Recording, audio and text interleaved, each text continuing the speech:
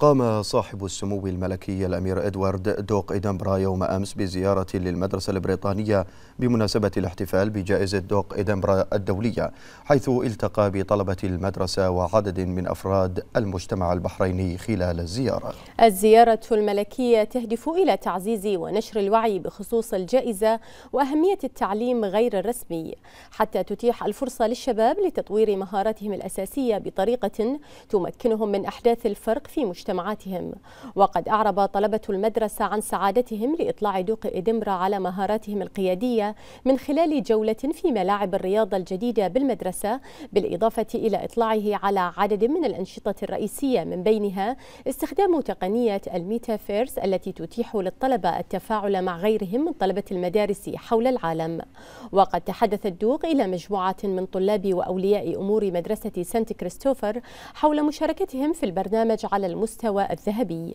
من جانبها أكدت دوريثيا جورمان مديرة مركز عمليات جائزة دوق إدنبرا المستقل أن الجائزة تشكل فرصة تحفيزية للمدارس الأخرى وللمؤسسات التعليمية في المملكة من خلال إظهار الأثر الإيجابي للجائزة على الشباب كجزء من خطة التعليم الشاملة في مملكة البحرين.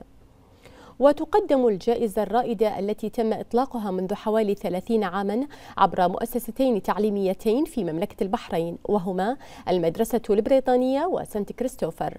حيث تدعم المؤسستان أكثر من 320 شابا وشابة بشكل سنوي.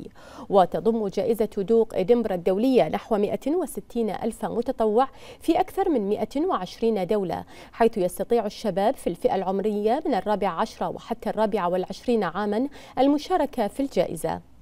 هذا ويشارك في البرنامج حوالي مليون شخص حول العالم في برامج مخصصة لهم من خلال شركاء شباب معتمدين.